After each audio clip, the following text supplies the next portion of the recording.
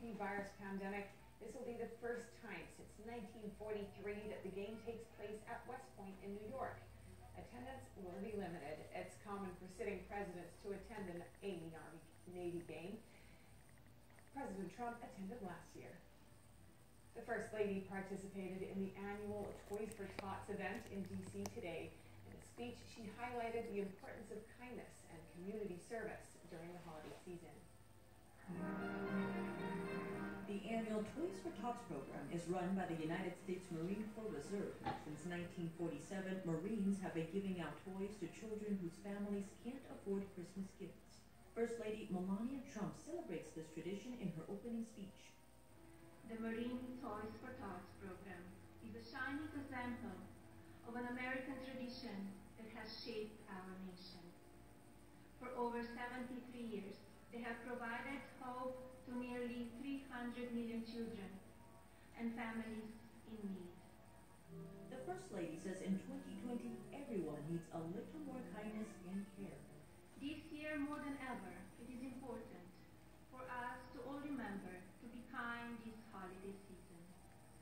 Due to coronavirus pandemic, many Americans are spending the holidays separated from the loved ones, and they have changed routines they have had for many years.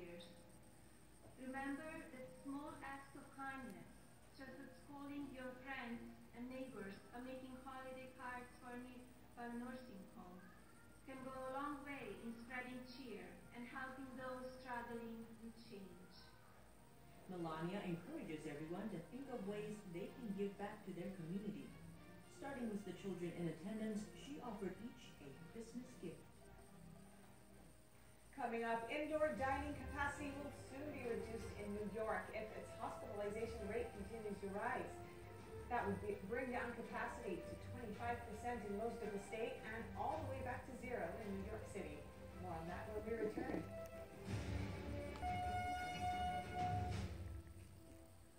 Are you looking for a news source that does not spin the truth, doesn't push any false narratives, and instead presents you with the facts and lets you make up your own mind? Hmm? Any false narratives, and instead presents you with the facts and lets you make up your own mind? Then go to readepoch.com and try the Epoch Times newspaper for yourself. It's pure honest journalism that's based in traditional values.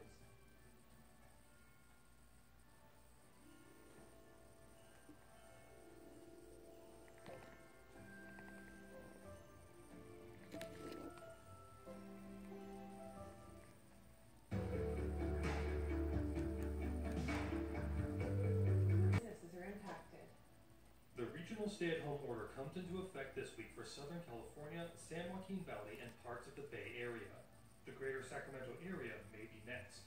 Businesses have been struggling to stay open, but now some say this could be the last straw. We had some essential workers, like chiropractor and acupuncturist, but we didn't understand that in the beginning. So we ended up losing one of our, our only chiropractor because she went to a different place to do her work while we were boarded up. So we ended up losing some employees. Lisa Alvarino's family-owned fitness studio in Santa Clara County has been open for two and a half years. She started seeing a profit early this year before everything had to shut down. This is her third time closing. She had to adapt to the changing requirements each time. And then we had to find an outdoor place to do our classes. So we've been kind of like the nomad. Alvarino is friends with the owner of a restaurant which is one block away. The restaurant had to close outdoor dining, which was set up under a large tent in its parking lot. Alberino asked to use the lot for her fitness classes, and the owner agreed. However, under the new order, all forms of restaurant dining will be closed.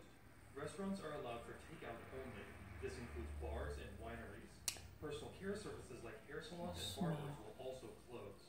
Private gatherings are prohibited and retail may operate at 20% capacity. The order comes after Santa Clara County's ICU bed capacity dropped below 15%.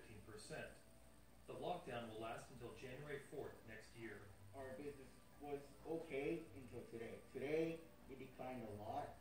We didn't see that many traffic, well, foot traffic, meaning people that come in and out.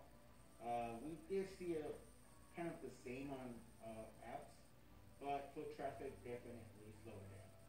In Los Angeles, people protested against the lockdown. Protesters gathered outside the home of Los Angeles County Supervisor Sheila Kuehl in Santa Monica on Saturday. They demanded to reopen all businesses. Sheila Poole said it was the most dangerous thing, and that's why they had to shut down outdoor dining. But the movie production got a permit to do outdoor dining for almost 200 people. Like, and a catering truck. Marsden had to build her own dining area in her parking spaces. She was finally seeing a profit in October until they were shut down again in November. I have one bartender that has a three-year-old that can't pay her rent. She only knows how to bartender serve. She doesn't know how she's going to eat, pay her rent right before Christmas. That's just one employee walking through that and seeing that as she's getting her last paycheck. It's outrageous. you know, before COVID, uh, you know, we, we would do fifteen thousand a weekend. You know, this weekend so far, the last three days, we've done like seventeen hundred dollars. You know, so you know, even when we were dining outside, we were had enough money to at least pay the bills, pay the employees, and they were able to make some extra income because both people in the restaurant business are employees rely, especially the front of house, rely on their tips. You know, but now you can't afford to pay them, so we don't have them on right now, so they don't get the opportunity to get those tips.